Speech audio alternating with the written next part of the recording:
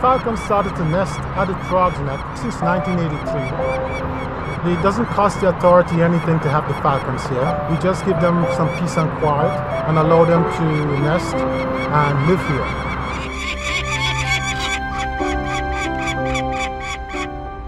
I'm Carlton Saras. I'm the maintenance superintendent at the Throgs Neck Bridge. Right now we are at the top of the Bronx Tower of the bridge, the highest point of the bridge, and we abandoned the falcons. One of the reasons we put the nest this high is because we're trying to live in harmony with the falcons, so they have some peace and quiet, especially during their nesting season. That allows the chicks to hatch and gives them a greater opportunity of survival. Okay, that's the female flying over our heads right now. She's acting aggressive, protecting the nest site, as she should be. You just have to watch your head. You'll go for the high point. Okay, here's our nest box. The falcons have been very, very happy here for quite a number of years.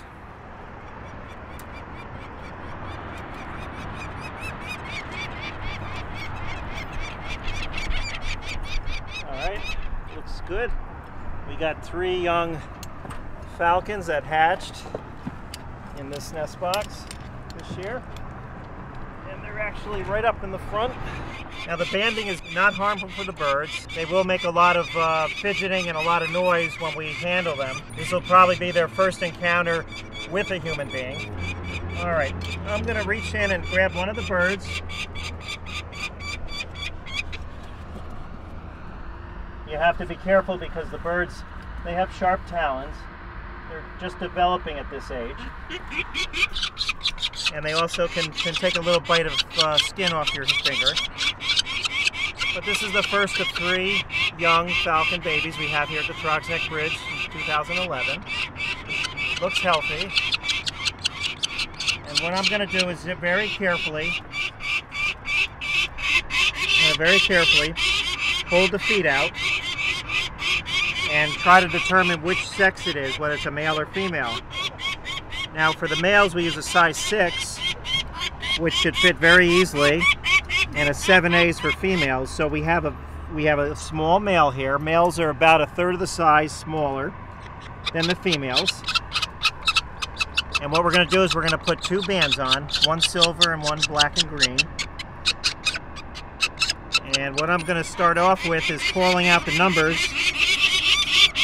to record the numbers so we can report these numbers to the federal government so that they keep track of the long-term monitoring of these birds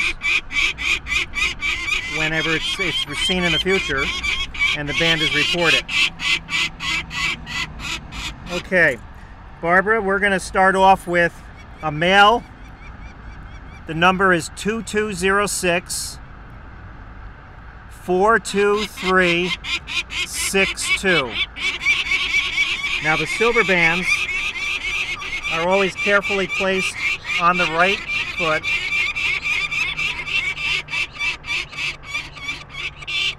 And the bands are just held on. They're aluminum bands. They'll never rust. They'll never come off. And they're just essentially just crimped on very carefully. And it fits very loosely.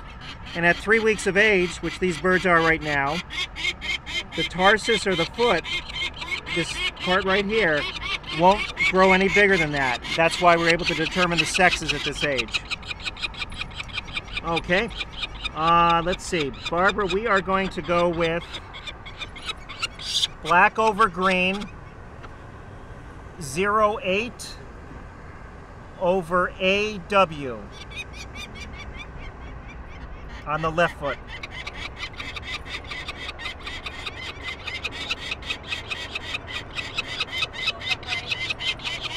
Now these bands are just a little bit different.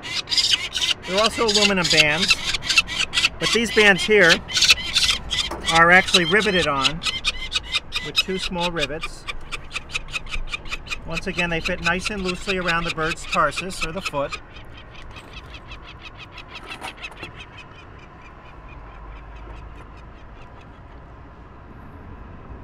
And we use two little rivets to close the band.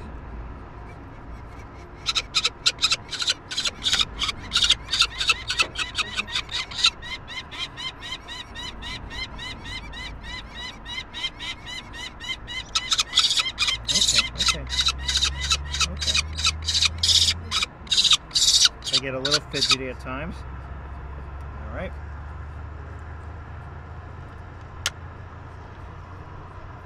All right. So the both bands, they fit nice and loosely, as they should.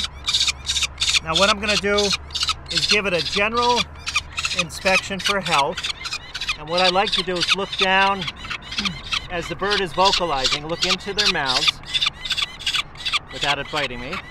And I want to make sure that it doesn't have any any sort of a lesion in the mouth. Sometimes the falcons are prone to a disease called trichomoniasis or frounce, and they pick it up from pigeons that they feed on. This bird's mouth is very clean, and what I'm going to do, because the bird has a little bit of feather lice on the wing, you can actually see the little lice running around on the wing. Okay, what I'm going to do is just temporarily put the towel over the bird's head That helps out. Sometimes it calms them down a little bit. I'm actually going to take a little bit of what we have some lice spray here uh, for birds. It's and then this this uh, lice is specific to birds, so it, it doesn't really attach itself to human flesh. And I what I do is put a little bit of a spray, just rub it in. It'll kill the lice instantly. And they're basically just feeding off on the, the blood of the the new sheets that are coming in for the feathers. Okay, just rub it in a little bit here.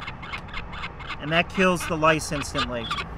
And you can see here, with the falcons at three weeks, or just about three weeks, you can see where the tail feathers and the, and the wing, the flight feathers, are all just starting to emerge. And in three weeks from now, they'll be as big as an adult and ready to fly. Okay, so what else I'm going to do is take a look at the bird's eyes. The eyes look clear, no problems. And I'm also going to look at their ears. So I have to close their mouth, and I have to take a look on the side of their head.